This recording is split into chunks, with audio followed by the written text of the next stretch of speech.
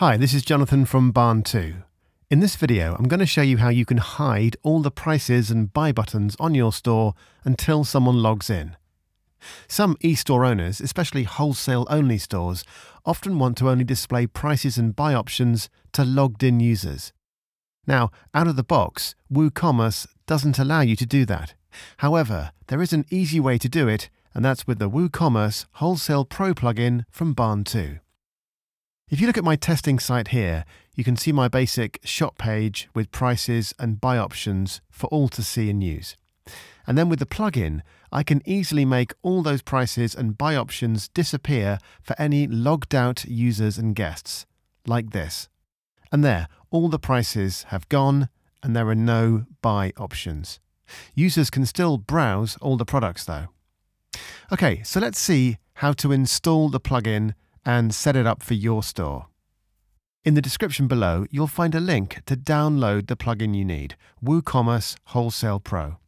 And once you have your zip file downloaded, install it in the normal way by going to your admin, and then to plugins, add new, choose your file and upload it, and once completed, go back to plugins, find the WooCommerce Wholesale Pro plugin, activate, and click settings.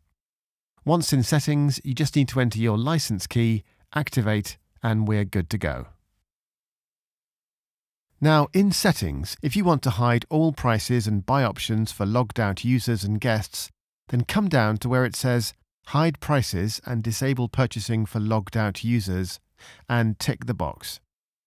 Now, if I come down to the bottom of the page and save changes, and then go back to my store and refresh the page, because I'm not logged in as a user, then all the prices and buy options disappear like so.